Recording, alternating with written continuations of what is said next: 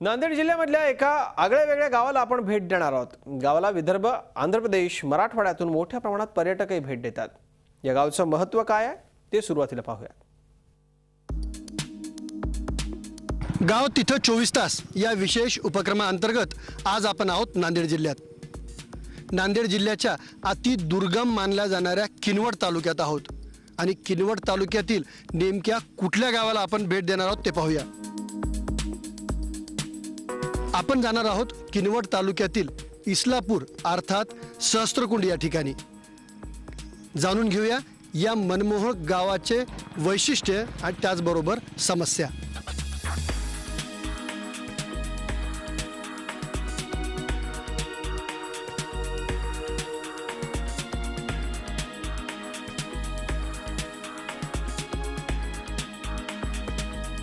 इस्लामपूर. किनवट तालुक्यातील आदिवासी आणि बंजारा समाजाचं मोठ्या प्रमाणात वास्तव्य असणारं आणि वनपरिक्षेत्रानं वेढलेलं गाव. पण या गावाची खरी ओळख बनलीये ती या गावाजवळ असणाऱ्या एका मनमोहक ठिकाणानं. आणि हे ठिकाण आहे सहस्त्रकुंड धबधबा.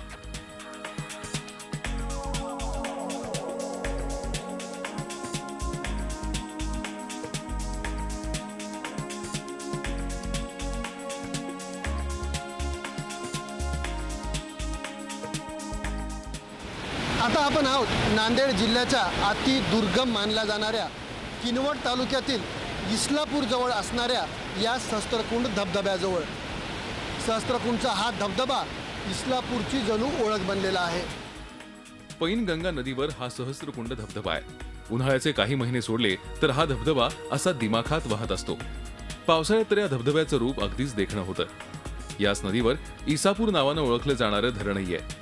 या इसापूर धरणाच्या पाणलोट क्षेत्रात सध्या जोरदार पाऊस सुरू असल्यानं या धरणाचे दरवाजे उघडून त्यातून मोठ्या प्रमाणात पाणी सोडण्यात येत असल्यानं या सहस्त्रकुंड धबधब्याच्या सौंदर्यात अधिकच भर पडली आहे या धबधब्याच्या एका बाजूला नांदेड जिल्हा तर दुसऱ्या बाजूला विदर्भाचा यवतमाळ जिल्हा येतो.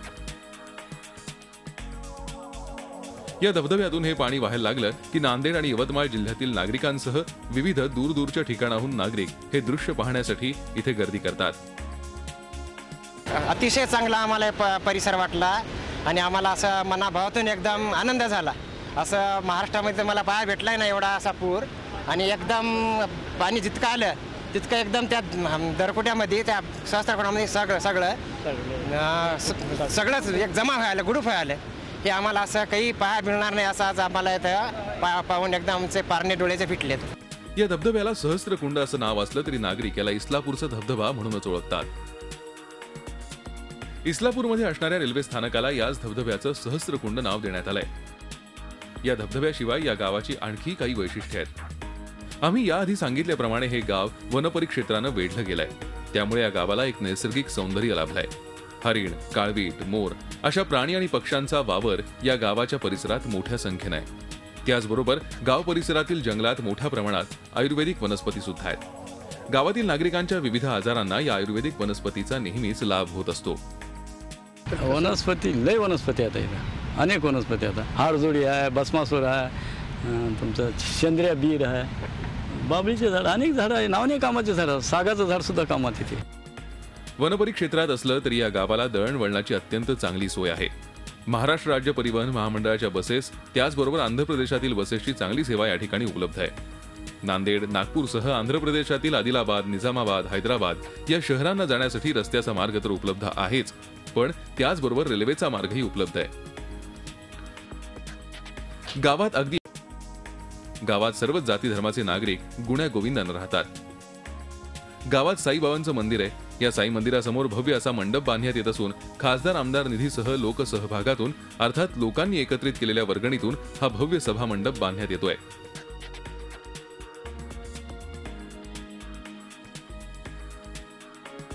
यातून गावकऱ्यांच्या एकीचं आणि समर्पित वृत्तीचं दर्शन घडतं. मंदिराचं आतापर्यंत पूर्ण बांधकाम हे लोकसभागातून करण्यात आलेलं आहे. साईबाबा मंदिराचं. साधारणतः साठ ते पासष्ट लाख रुपये जवळपास खर्चून ही वास्तू बांधण्यात येत आहे. ह्याच्यासाठी व्यापारी आहेत कर्मचारी आहेत आणि गावकरी आहेत. इतरही नेते लोक आहेत काही. ह्या सर्वांनी सहभाग चांगला दिलेला आहे. इस्लापूर गावाला ऐतिहासिक चळवळीचाही वारसा लाभलाय. या गावाच्या परिसरातील पाच वीरांनी स्वातंत्र्य चळवळीत याच भागात आपल्या प्राणांची आहुती दिली आहे. या वीर हुतात्म्यांच्या स्मरणार्थ गावात हुतात्मा स्मारक उभारण्यात आलंय. इस्लापूर आणि आसपासच्या गावातील लोकांच्या आरोग्याची काळजी घेण्यासाठी अनेक वर्षांपासून उभारलेलं हे प्राथमिक आरोग्य केंद्र सुद्धा आहे. गावातच असणाऱ्या तीन शाळांमुळे गावातील विद्यार्थ्यांना प्राथमिक आणि माध्यमिक शिक्षणाची चांगली सोय आहे. त्याचबरोबर गावातील कनिष्ठ महाविद्यालयामुळे बारावीपर्यंतचं शिक्षण गावात घेण्याची सोय विद्यार्थ्यांना उपलब्ध आहे. इस्लापूर गाव हे आजूबाजूच्या तब्बल पंचेचाळीस छोट्या मोठ्या गावांची बाजारपेठ असून गावात कृषी उत्पन्न बाजार समिती आहे. या गावचे मूळ रहिवासी असणारे तत्कालीन महसूल राज्यमंत्री डी बी पाटील यांच्या प्रयत्नातून सुमारे पंधरा वर्षांपूर्वी गावात कृषी उत्पन्न बाजार समिती सुरू झाली आहे. Keshav Khondse Patil Zee media Nanded. निसर्गाच्या कुशीत आणि विविधतेनं नटलेल्या इस्लापूरची वैशिष्ट्ये आपण पाहिली महत्त्व पाहिलं. विविधतेनं नटलेल्या या गावच्या समस्याही मोठ्या आहेत. पाहूयात नेमक्या काय समस्या आहेत.